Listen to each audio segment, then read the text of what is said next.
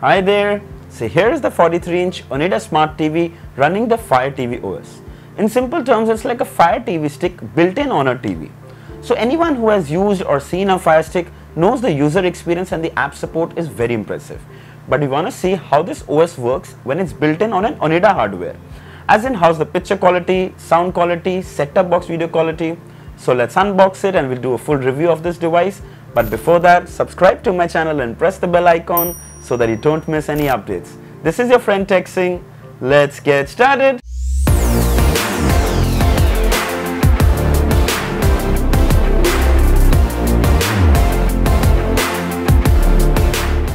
So here is the retail packaging.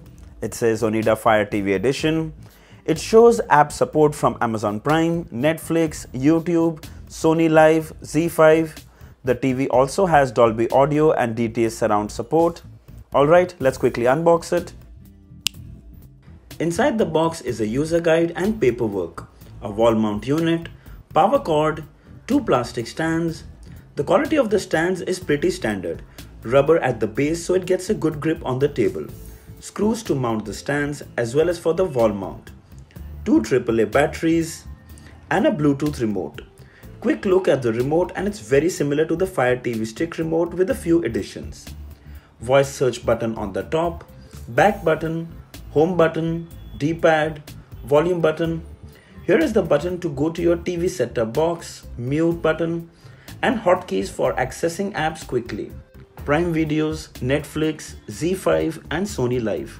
Here is a quick comparison with the Fire TV Stick remote and it's a little bigger and that's because of the hotkeys.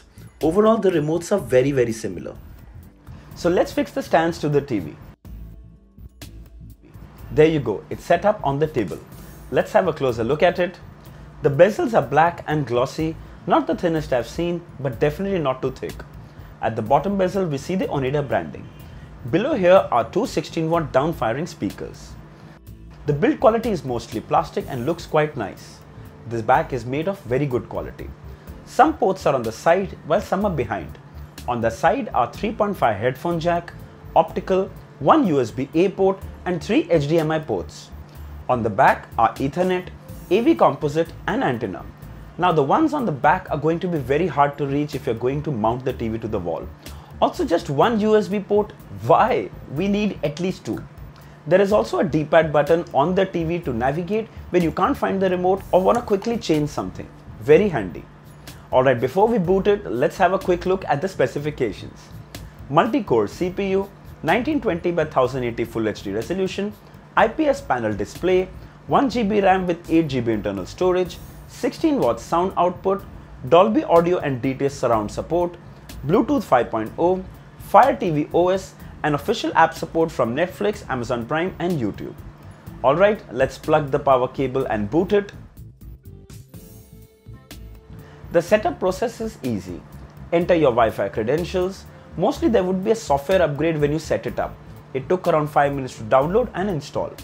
You need an Amazon account to log in. If you don't have one, you'll have to make one. So once the setup is complete, we are greeted with the Fire TV OS. It's absolutely identical to the Fire Stick interface. You can see the apps in tile format. Some apps come pre-installed while some of them need to be installed from the store. Netflix, Amazon Prime, YouTube and some more come pre-installed. Let's browse through the store. You have apps like Hotstar, Z5, MX Player TV, Times Now. Man, the collection is huge and the best part is all these apps are designed for the TV and not mobile blown up apps. On the home page, you can select your input source like HDMI, antenna or AV composite wherever you have connected your set-top box if you have. Let's play a video on YouTube and see the display quality. There you go, the video plays smoothly without any lag or stutter. Since the TV is full HD, 4K videos will max out at 1080p. The color reproduction is quite good. Blacks aren't the best, but that's expected from an IPS panel, but they aren't that bad either. On the flip side, IPS panels have perfect viewing angles and the Onida TV doesn't disappoint. Simply brilliant. It supports 60Hz refresh rate, making videos buttery smooth. Overall, I'd say the display is quite impressive and does a good job.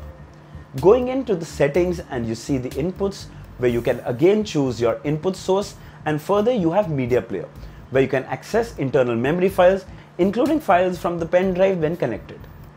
Here is where you connect your Bluetooth devices, connect gamepads or your favorite headphones or home theater system wirelessly. Make sure Bluetooth headphones you connect support Bluetooth 4.2 and above. There is parental control option in case you want to password protect your TV from anyone using it. There is sleep timer which you can set from 5 minutes to 240 minutes. For those who like to watch TV while going to bed, it's really helpful. In the display settings, you can change the picture settings, you can change the backlight, contrast, brightness. I'm sticking to standard as it seems quite good to me. You'll have to set it separately for your set-top box input. Talking about set-top box, let's see how it performs. We shall start with the SD channels and then HD channels. So here are the SD channels from the set-top box and surprisingly it looks quite good. Have a look at some channels. HD channels are easy on the eyes and pretty viewable. Alright, here are the full HD channels. They look absolutely brilliant. Of course that goes without saying, but it's really a treat to the eyes to watch HD content on a full HD TV, clear and sharp. Alright, let's check out the apps. So most of the streaming apps except YouTube need paid subscription, like Netflix, Prime Videos, Hotstar. I'm sure most of you already know that, but just saying, in case some don't.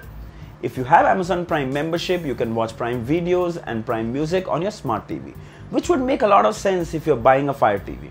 Alright, let's start with Netflix. So here is the Netflix official app. Log in with your credentials. There you go. Wow, the interface is smooth as silk. Super easy to navigate. Let's play a movie.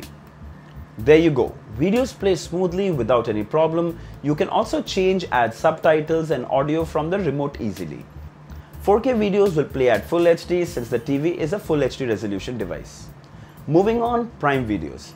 I have to accept Prime Videos works best on Fire TV, which is obvious because they own it.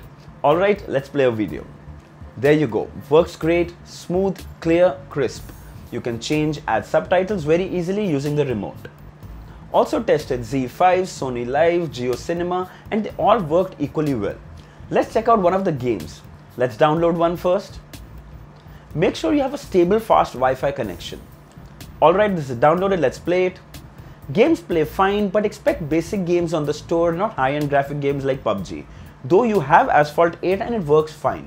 Most of the games can be played with the remote, but some might need a gamepad which you'll have to buy separately. Talking about the interface, it's really smooth and responsive. It feels like using the Fire Stick, which is exactly what it is. The remote has voice search so you can use it to search content or open apps. Let's see. What is the weather in Mumbai? In Mumbai, Maharashtra, it's 33 degrees Celsius with dreary sky. Open Netflix. Here's Netflix. It also has quick access buttons for apps, Prime Videos, Netflix, Z5 and Sony Live. I so wish it had YouTube, but this ain't a Google product, hence no YouTube button. The remote is minimalistic and does the job well. For those who are thinking, what about mirroring? Well, Fire TV OS has got it covered. You go to the settings, display and sounds, and down you'll see enable display mirroring. Now this is like Miracast. You don't need to be on the same Wi-Fi network. On your Android phone, look for display mirroring, screencasting, casting, Miracasting. I'm using the Redmi K20 Pro. In the settings, I see casting. Click on it and you'll see Prasenjit's TV. In your case, you'll see your name. There you go. There is barely any lag. You can watch videos, movies directly from your phone. Now I really know why people miss this feature so much on the Android TV. It's just so easy and convenient. Let's move to the sound. The device comes with 16 watt sound output and supports Dolby Audio. Let's play a sample.